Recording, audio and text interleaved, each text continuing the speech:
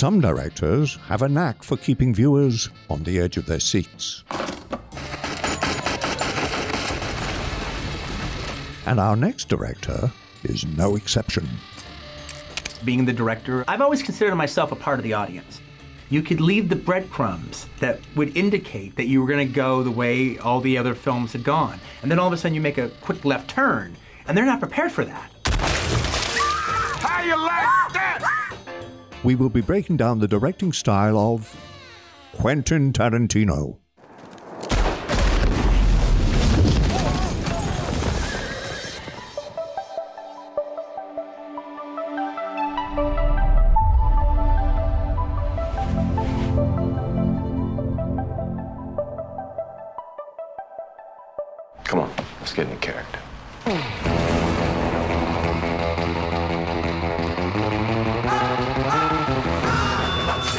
It's impossible to define a director's cinematic style by just looking at a single aspect of their work. So we're going to show you how Tarantino approaches his decisions across seven areas of focus, so that you can see how every little decision makes up the entire picture. Au revoir, Shoshana! Remember to subscribe to our channel and click the bell icon to stay in the loop for new videos. Our first directing element story. Tarantino creates highly effective dialogue that has a unique style. You know what they call uh, a quarter pounder with cheese uh, in Paris? They don't call it a quarter pounder with cheese? Oh man, they got the metric system. They wouldn't know what the fuck a quarter pounder is. And what do they call it? They call it uh, Royale with cheese. Royale with cheese. That's right. and leaves loose ends.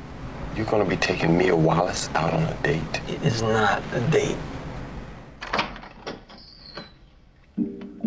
He moves away from an interesting conversation to an even more interesting situation. How you boys doing? He builds situations that suddenly flip.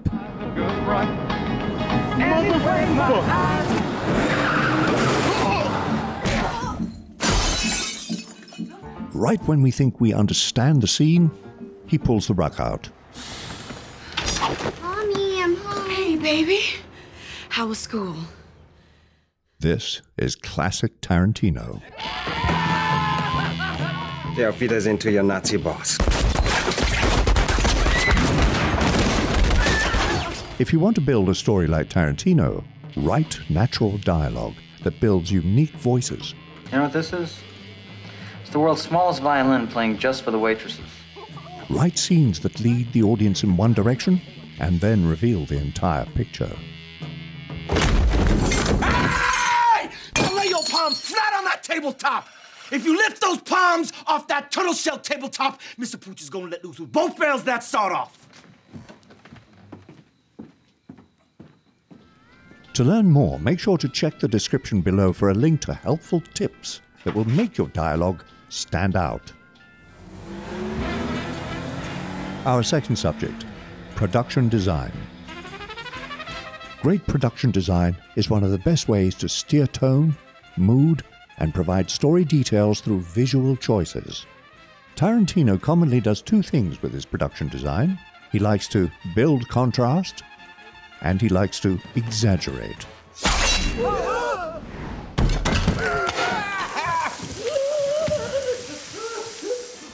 It can be a prop, facial hair, a costume. Tarantino likes to give his characters a trademark outfit, a uniform. It establishes a visual identity. Take, for example, the gang in Reservoir Dogs. Everyone is wearing the same black suit, except for two people Joe Cabot and his son, Nice Guy Eddie. All right, everybody cough up some green for the little lady.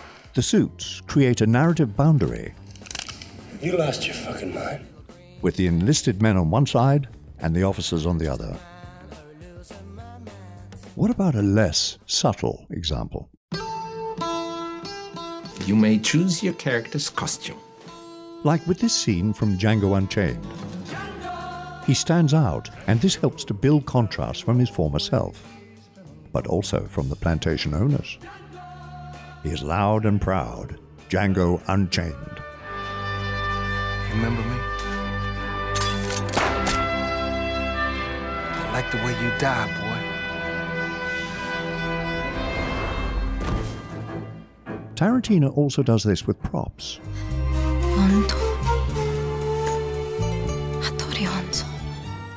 Take this scene from Inglourious Basterds, where both men have pipes. But one is exaggerated. The difference in imagery gives you insight into how these men each lead very different lives, but also the power imbalance. Lastly, it provides a bit of levity in a scene that is anything but. So remember, if you want to use production design like Tarantino, find opportunities for visual contrast and don't forget to exaggerate your points with bold design choice. Make sure to check the description below for a free production design worksheet. Our third subject color. For Tarantino, color is an emotional trigger. While he will experiment with black and white footage from time to time, he generally wants his colors to pop. When characters are on a mission, often out for revenge, this will be draped in bold primary colors, like the royal blue Django, or canary yellow with Kiddo, or scarlet red with Shoshana. But he also uses color to set a mood. Take a look at the opening scene from Jackie Brown. The first color we see are shades of blue. Blue can keep us cool, it can bring us down, mellow us out. But when Jackie enters the frame, we get a shock of more blue. The security x ray machine, awash with blue. The color choice is bold, and it tells us that Jackie is a bold character.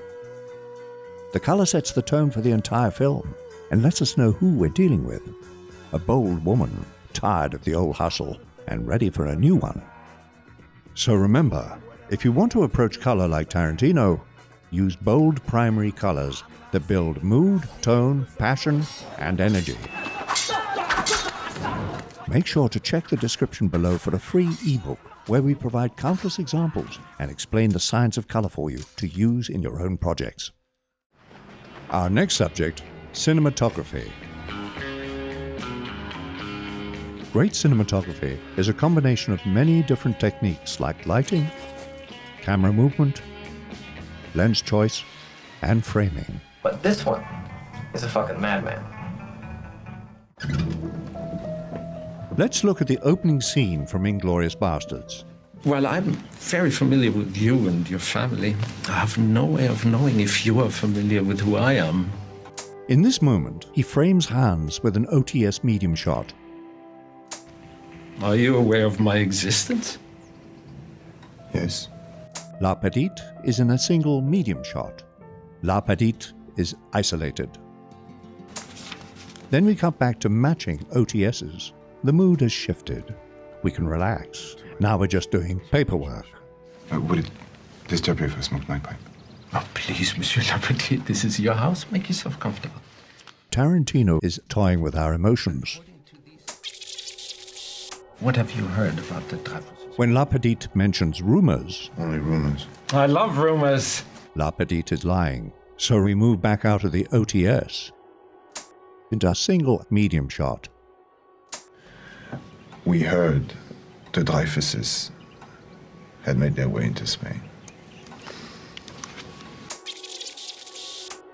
When LaPadite mentions the children, And the children. Tarantino dollies across the lines. He breaks the 180 degree rule. Then everything flips. Hiding underneath the floorboards is the Dreyfus family. As tension grows, we switch to medium close ups, each of which dolly forward, building suspense. I might add also that any information that makes the performance of my duty easier will not be met with punishment. And eventually eases into a close up. You're sheltering enemies of the state, are you not? Yes. Game over.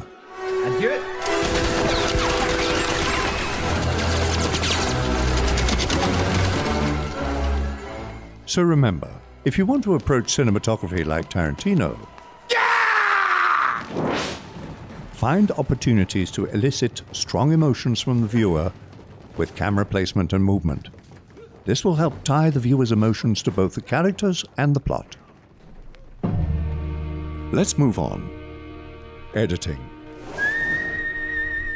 Tarantino builds something through his edits.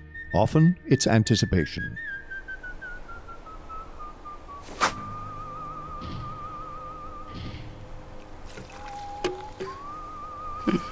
In other cases, fear. Beweg deinen Arsch ins Auto. Take this scene from Inglourious Basterds. Shoshana is at a very uncomfortable dinner. She'd like to leave. Also gut, Fräulein. Sie werden Ihr Kino heute Abend für eine Privatverführung schließen. Jeune demoiselle, vous allez fermer votre cinéma ce soir et organiser une projection privée pour moi. Tarantino knows we want the dinner to end as well. Quel film allemand avez-vous So, right when Landa arrives, he cuts to Shoshana's face. Ah, Landa, da sind Sie ja. Emmanuel, voici le colonel SS Landa. Il sera chargé de la sécurité pour la première. The entire scene focuses on Shoshana. Chef dieses freudigen deutschen Ereignisses muss ich ein paar Worte mit Mademoiselle Mimieux wechseln. Was für Worte? Even while Landa and Zoller argue, he never cuts away from her. He elected to use an uninterrupted take in the edit because he knows it'll connect the viewer even more to Shoshana. Because we fear for her. Aber Ihnen eilt ein Ruf voraus. Müssen Mademoiselle Mimieux oder ich uns Sorgen machen? Hans, der Junge war jetzt nicht böse. Er hat sich verkauft in die Kleine. Und er hat recht. Ihr Ruf eilt ihm voraus. But what about the anticipation? Part of achieving this effect is by stretching moments out. Take this scene from Pulp Fiction. Mia is dying. She's ODing? She's fucking dying on me, man! We know how important this moment is. Mia will die, and Vincent will become a grease spot. Do you know who Marcellus Wallace is? Do you? Yeah. If she croaks on me, I'm a fucking grease spot. Vincent needs to give her a shot to the heart. Come on, man, hurry up. Fuck. Okay, okay. So Tarantino stretches it out in the edit. All right, count to three. All right, ready? One.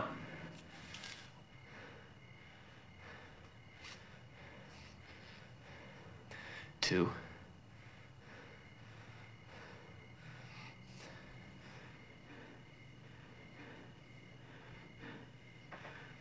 Three!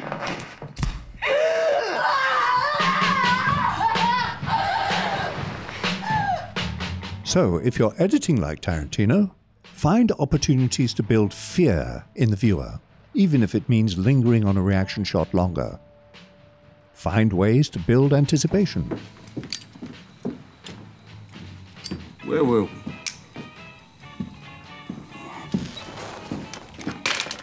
Edit for emotion and be bold. Want to learn how to make the perfect edit for your story? Make sure to check the description below for a link to Walter Murch's Rule of Six, where Murch breaks down the workflow for making a cut that helps to tell your story. Moving on. Sound design. Tarantino's sound choices are often a mixture between highly authentic and cheeky. Come on, bitch. His sound design is there for emphasis. Take this scene from Kill Bill. You want some coffee? Yeah, sure. The sound design in this scene creates an over the top, almost cartoon like effect. Listen to each sound carefully. Very funny, bitch. Very funny.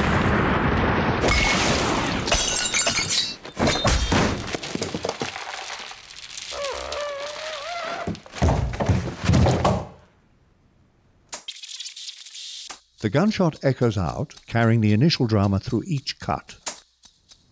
Very funny. When Kiddo kicks the mug, we hear a sound almost like a baseball bat connecting with a golf ball.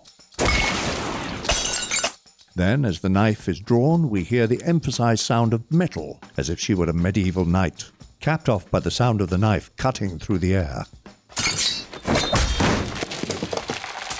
Along with a screech from Vernita's head sliding down the cabinet glass.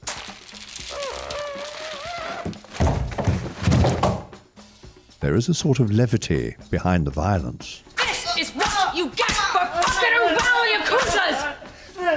Go home to your mother! If there was ever a way to summarize Tarantino, Hey, what's going on? You hear that? violence meets levity. Now throw out your other pistol. I ain't got another pistol. Well, you better shit another pistol out your ass. Because if you don't throw one up here in the next two seconds, we gonna kill this bitch. See? Told you. If you want to approach sound design like Tarantino, don't be afraid to emphasize the visuals with extreme, even outlandish sound effects.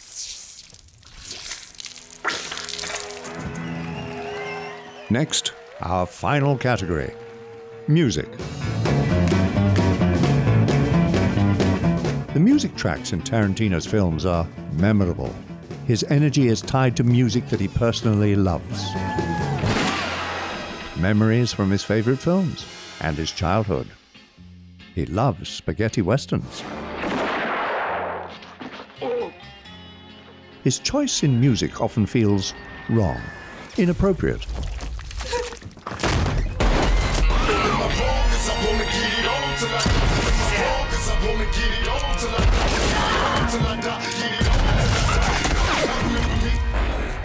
And thus he is able to defy expectations.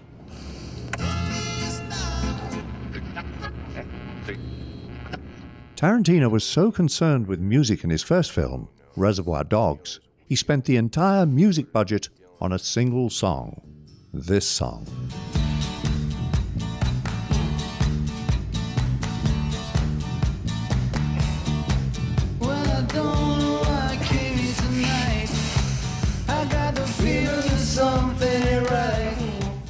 This scene shows how Tarantino uses music to do two things cut against tones and expectations, and to make scenes flat out entertaining.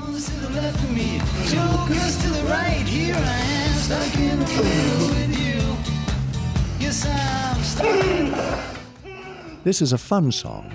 It's catchy, very different from the visuals on screen. Tarantino chooses music that he enjoys, and for the vast majority of his films, he avoids an original score. When Tarantino finally did use a score, he worked with the original spaghetti western composer Ennio Morricone.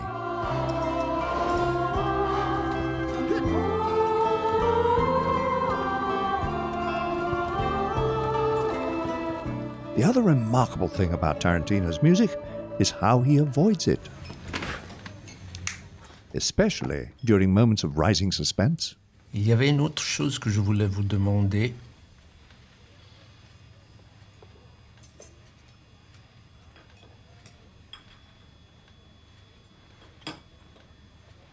Mais maintenant, sur ma vie, impossible de m'en souvenir.